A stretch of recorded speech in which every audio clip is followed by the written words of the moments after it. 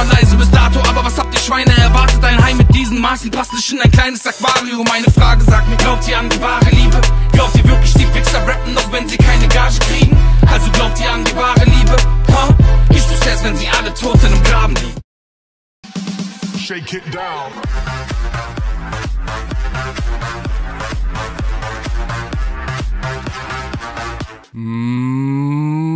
Moin Jungs, da bin ich wieder, euer Zeddy und ich habe ein neues Video für euch am Start und zwar in diesem Video möchte ich euch gerne mal zeigen, wie ihr die Railgun in den Online-Modus bekommen könnt. Das ist extrem einfach, der ganze Glitch und bevor ich euch zeige, wie das Ganze funktioniert, ihr seht ja schon mal hier so ein paar gemoddete Autos bei mir in der Garage und das Ganze funktioniert auch auf dem PC, beziehungsweise funktioniert nur auf dem PC. Die Links dazu findet ihr natürlich unten in der Videobeschreibung. Falls ihr auch so gemoddete Fahrzeuge in eurer Garage haben möchtet, dann könnt ihr euch auf jeden Fall mal die Videos anschauen und dann habt ihr das natürlich auch auf dem PC. Aber hier für diese Railgun, da braucht ihr einfach nur den Job, den ich euch unten in der Videobeschreibung markiert habe. Das Ganze funktioniert leider nur auf dem PC, weil die ganzen Jobs, die auf der PS4 oder auf der Xbox One ähm, funktionieren oder wo es da gibt, die freezen das Spiel jedes Mal ein, beziehungsweise bringen das Spiel zum Absturz. Deswegen kann ich euch den Job leider nur für den PC vorstellen. Es tut mir natürlich leid, aber ich denke mal, es wird auf jeden Fall irgendwann mal wieder ein Glitch kommen, wo auch nur auf der PS4 funktioniert. Seid mir deswegen nicht böse, ich kann leider nichts dafür, aber was ihr dazu machen müsst, ist auf jeden Fall erstmal den Job unten in der Videobeschreibung markieren. Der Founder von dem Glitch und auch der Jobersteller war auf jeden Fall Gamely Leo.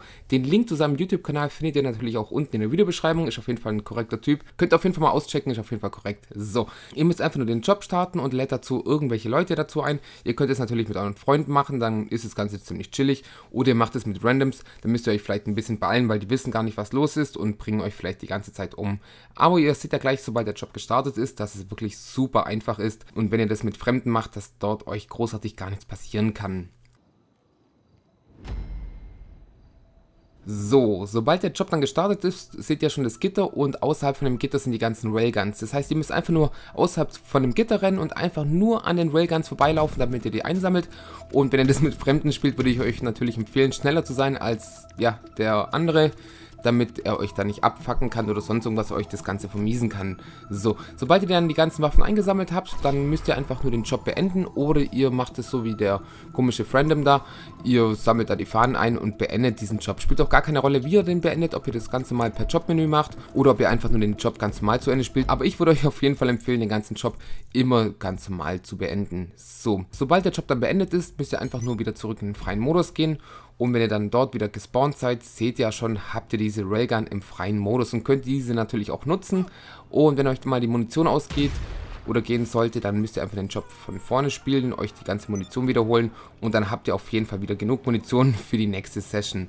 Der einzige Nachteil an dem ganzen Glitch, die Waffe wird nicht gespeichert, das heißt, sobald ihr die Lobby wechselt, dann ist die Waffe natürlich auch weg, das heißt, die Waffe, die könnt ihr nicht in irgendeine neue Lobby oder in einen Job mitnehmen, sondern die verschwindet, sobald ihr die Sitzung wechselt. Aber wenn er stirbt, ist es überhaupt gar kein Problem, ihr habt dann weiterhin die Waffe und könnt sie auch so lange nutzen, bis ihr halt entweder keine Munition mehr habt oder sobald ihr halt eine neue Sitzung findet. So, das war's auf jeden Fall mit dem Video. Ich würde mich natürlich tierisch über ein Like freuen und dann würde ich einfach mal sagen, ich bin an der Stelle raus. Ich wünsche euch noch einen schönen Tag und wir sehen uns beim nächsten Video. Also Jungs, haut's rein, macht's gut. Ciao, euer Zeddy.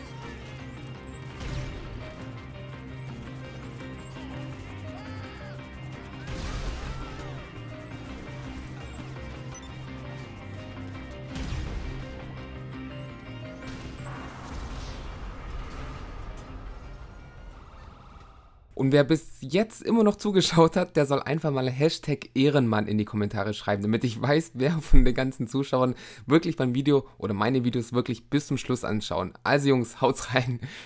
Euer Zeddy.